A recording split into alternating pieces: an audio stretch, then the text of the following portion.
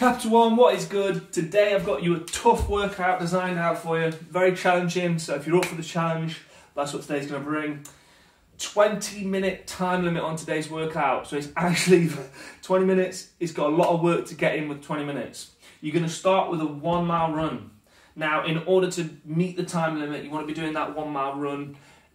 Really, you want to be doing it under 10 minutes, but if you're nearer to 8 or 9 minutes, um, it will help out. Anything less than that, and you've got plenty of time to do pyramid. So then we move on to the pyramid, and really simple. It's a full pyramid, so that means you're going to go up and down the pyramid. Um, there's four moves, and in the beginning, you've got to do five reps of every move, then 10 reps of every move, then 15, then 20, and then back down in fives the same abort. So 15, 10, and 5, back down the pyramid. So I'm going to give you a, demo of all the movement standards, all the movement standards required there, and then so you know what we're doing. So, four moves. First move, burpee. Now here, what we can do is, if you, if you find it easy, obviously squat down, bring your chest down, add the push at the bottom. If you want to, you can sort of go CrossFit style and just drop straight down. If that's too much of a challenge, just bring the squat down, hands to the floor, step it out, step it out, and then step it in. There's burpees covered. Then we've got squats.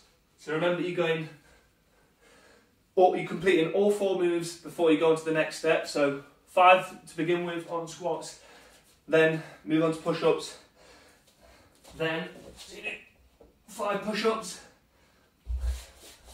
before you go into that next step. With the push-ups, what we can do to make it easier, have your knees here.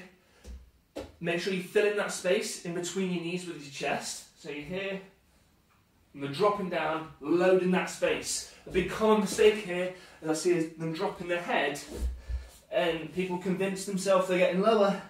If your head is moving, you are not getting lower, you're just moving your neck. Okay, so load that space and that will really load out that chest. And then finally, different movement to normal.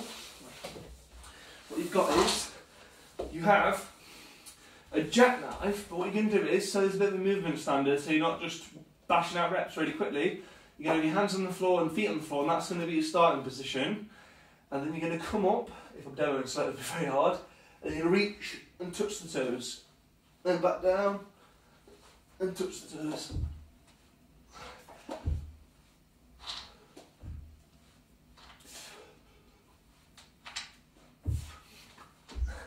So that's it.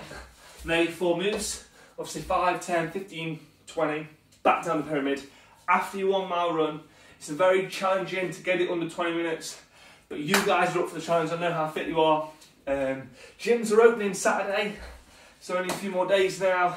Next week, if it seems okay and you guys like the idea, I'll start in, incorporating some gym equipment into the workouts so that you've got a bit more versatile stuff. If you are all going to the gym, and we'll be you know I mean taking part in you know I mean in the gym so we can actually give you a little bit more fresh of a workout rather than just doing bodyweight stuff at home. But I hope you're still crushing it. I hope you're surviving in lockdown. And yeah, until next time, see you later.